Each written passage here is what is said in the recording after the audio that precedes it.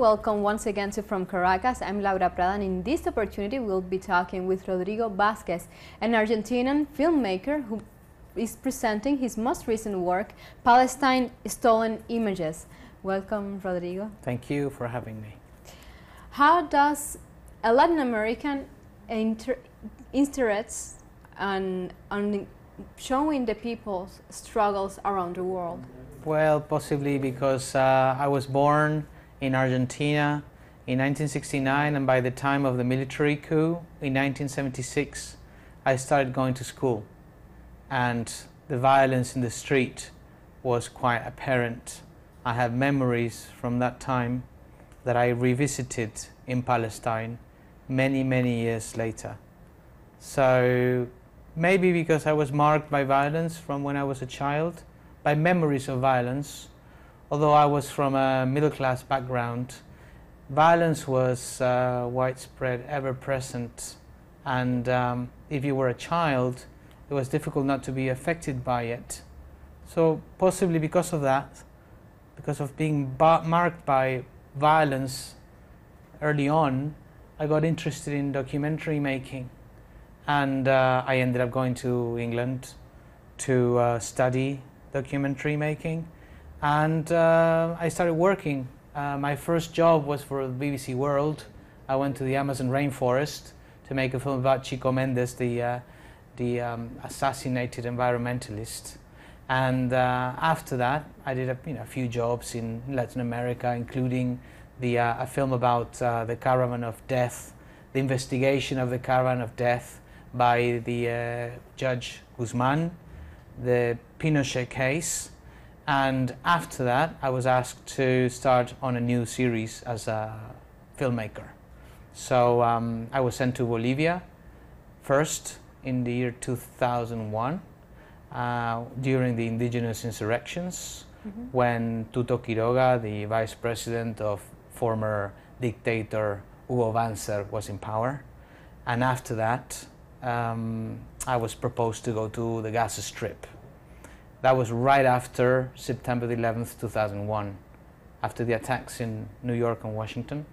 The idea being that we would report on what was going on in the Gaza Strip while the American army was invading Afghanistan and the eyes of the world were focused there. Why, why you found interesting to uh, put into a documentary what was happening there? Because uh, I thought that the world had to see what was going on while the world was watching Afghanistan and the Americans supposedly avenging the attacks in New York and Washington. Um, in Palestine, the Israeli army was able to undertake operations against the National Liberation Movement, particularly in the Gaza Strip, while the world was watching Afghanistan. So we thought we had a duty to observe and report what was not being reported by the mainstream media, and we did. And in effect, we ended up being the second day of our trip under aerial bombardment.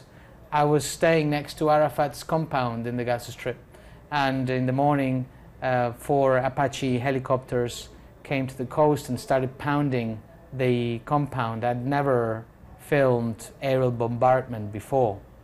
Is that what uh, part of the images, part of those stolen images that yes. can be seen on the on Palestine stolen images? That's right.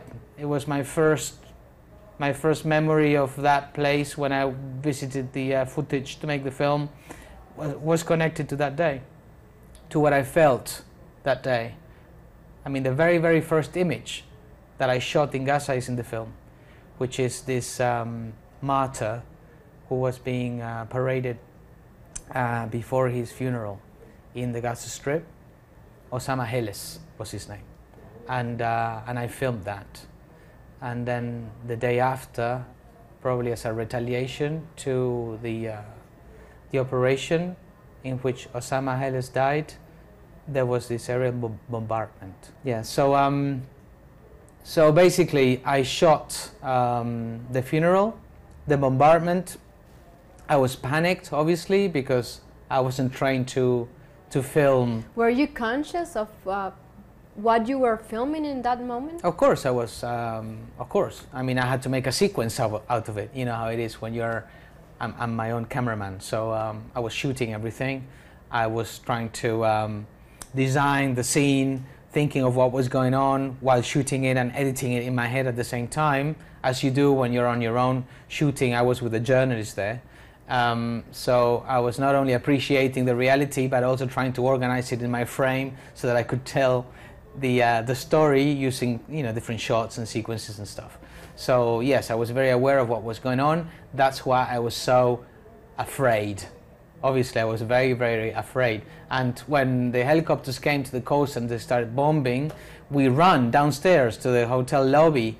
We saw that the uh, the waiters there were just like laughing and pointing at the at the helicopters. It was natural for them. It wasn't natural for me or for the reporter to be witnessing that kind of violence, but we naturalized it very, very soon, very fast, you know, because the, the next day, while the first day we ran away from the bombs, the second day we saw the jets pounding the center of the Gaza Strip, and we decided to go right in to the place that was being bombarded.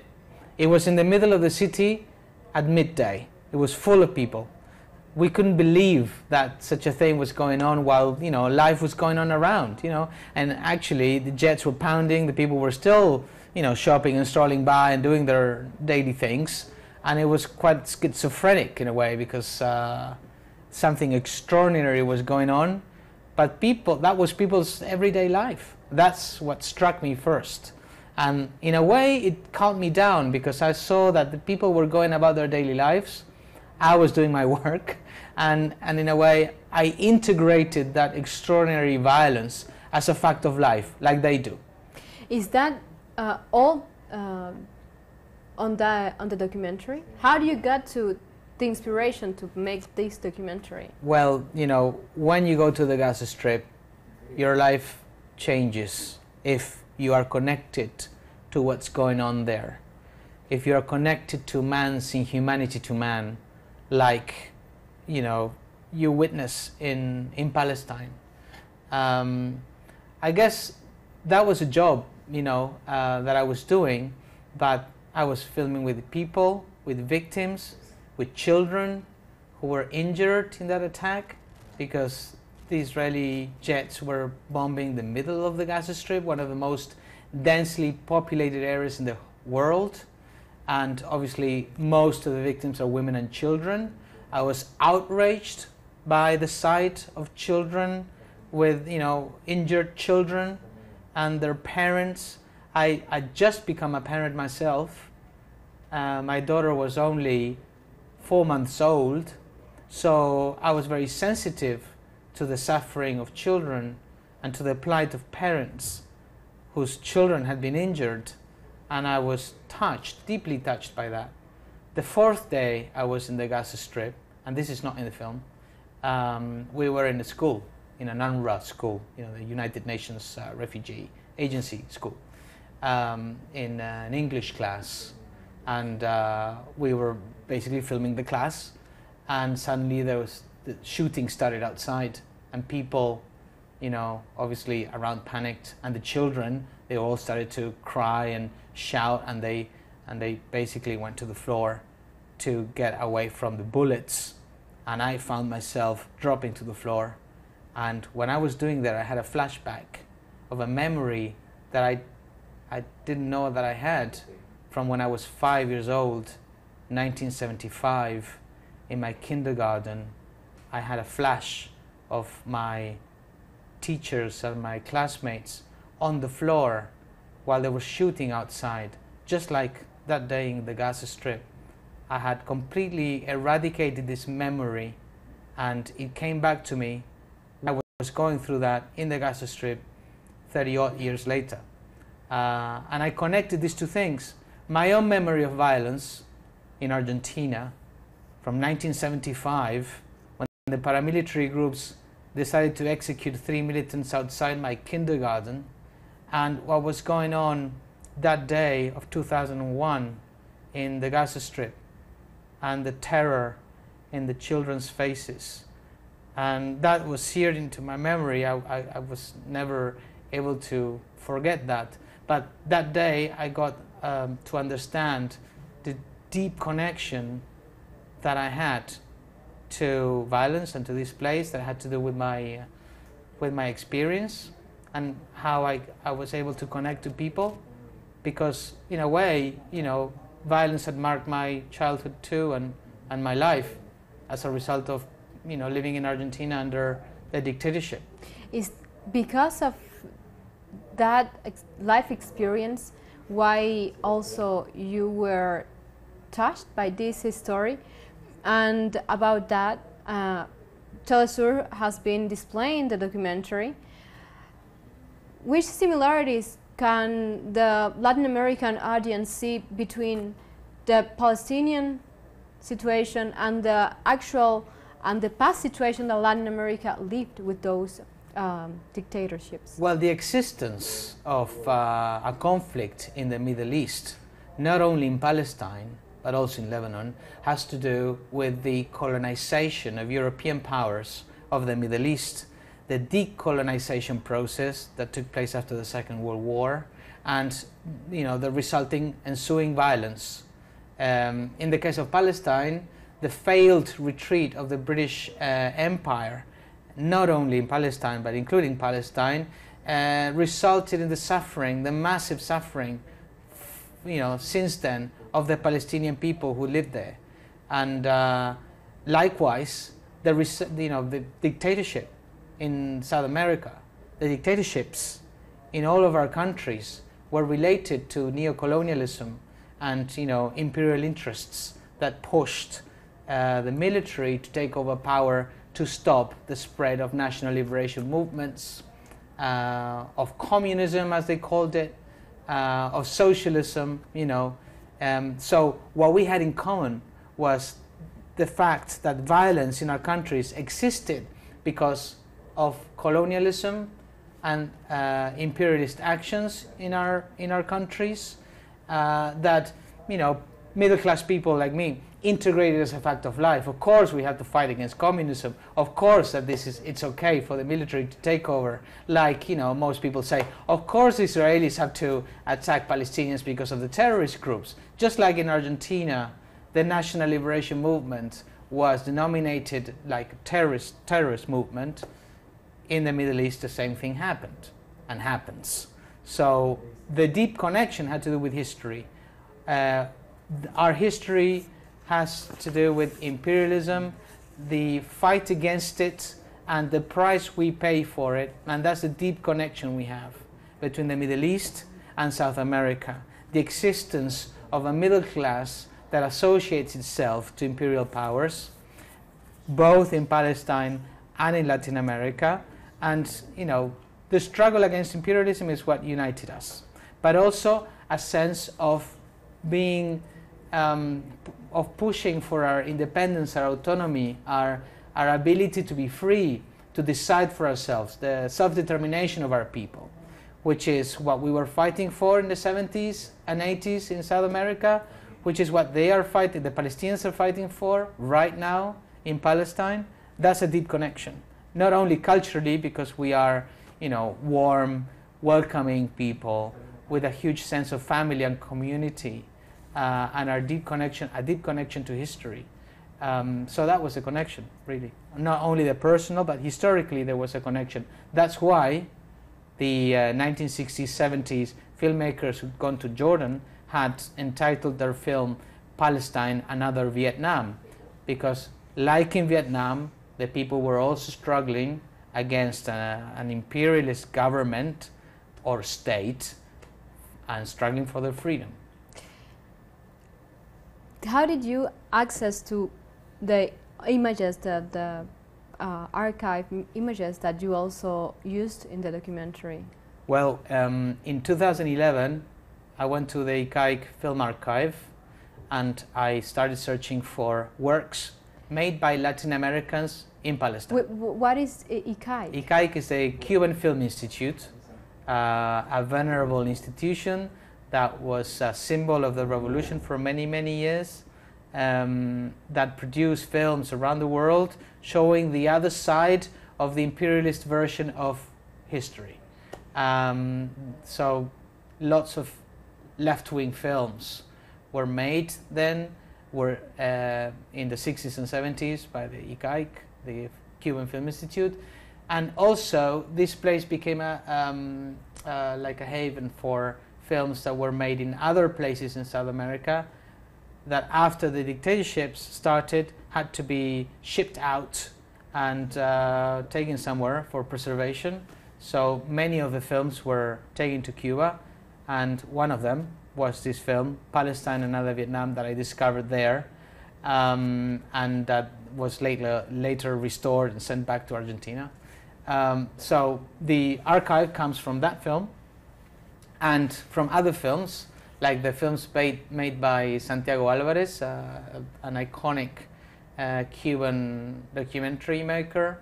Uh, 2019 marks the 100th anniversary of his birth, actually, and he had made films and newsreels that connected the Latin American struggle to the struggle for freedom in the Middle East, and uh, so I, we, you know, partner up with the uh, Cuban Film Institute to be able to use the archive footage in the film and uh, reflect on this connection between Latin America and the Middle East.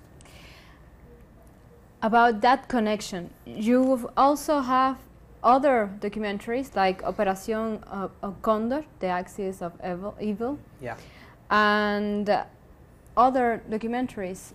How, how do you see you balance this um, history, recent history, in those documentaries, and how you can move audience towards um, analyzing, towards making conscious on them about what's going on today in not only Latin America and the Middle East, but in the world. Yes, it's uh, it's always a struggle to try to get uh, people to remember, to um, to use memory uh, and learn from history, not to repeat the same mistakes.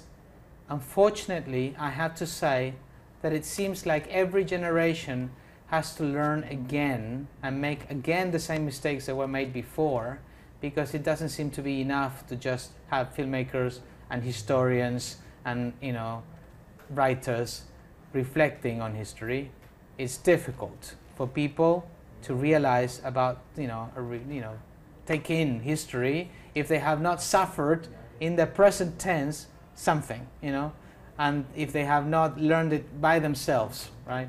So the idea is that we, sh we shouldn't need to do that. In the case of the holocaust you know uh, and the, the, the, genocide of the Jewish people has been turned into this um, mass media operation for this phenomenon not to ever happen to the Jewish people again, which I completely agree with. I think genocide should not be suffered by any people on earth. And luckily, this lack of learning from history has determined that today the Israeli state has not only become an apartheid state, just like South Africa was, but they are applying to the Palestinian people some of the treatment that was applied to them by the Nazis. And only stating this is a scandal in many circles. They always say it's impossible to, to compare the genocides in, in the Nazi Germany and in Poland to what's going on in the Middle East or to what was going on in, in South America in the 60s and 70s.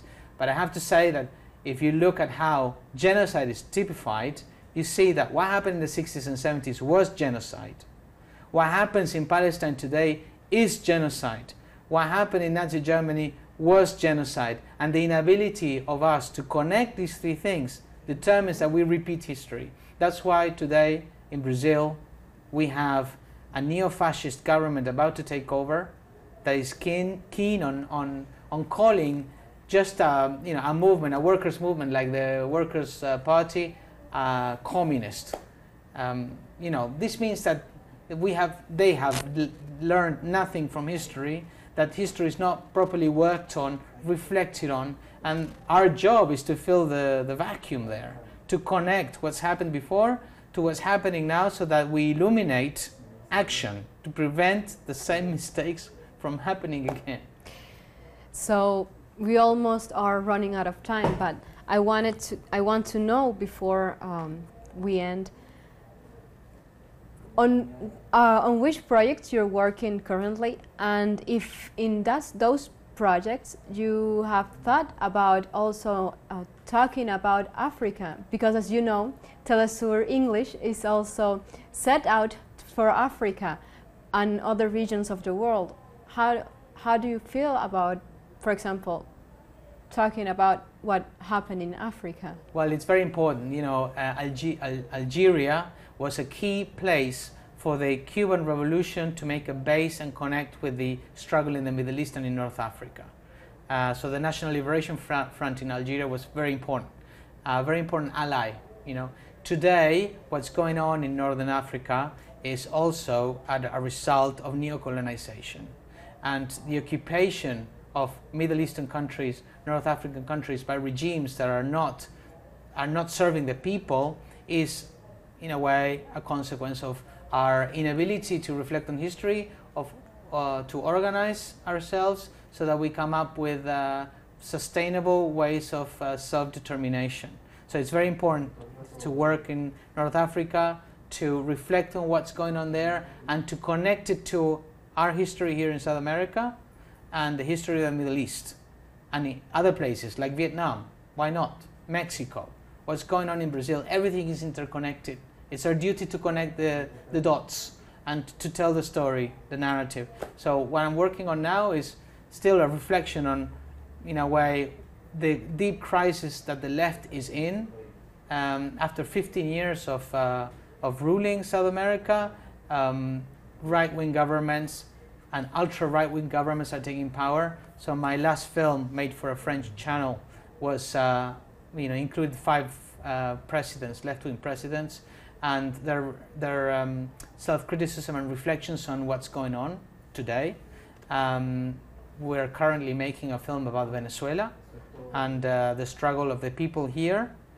Um, and we are planning to also make a film about Santiago Alvarez, for the 100th uh, anniversary of his birth because he is another internationalist filmmaker that was also seeking to connect the dots and our histories and our common narrative.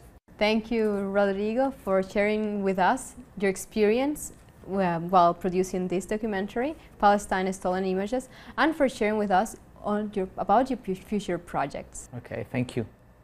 Like this, we've come to an end of uh, From Caracas and with the hope that you've enjoyed this interview. Thank you, Rodrigo. Thank you. Cheers.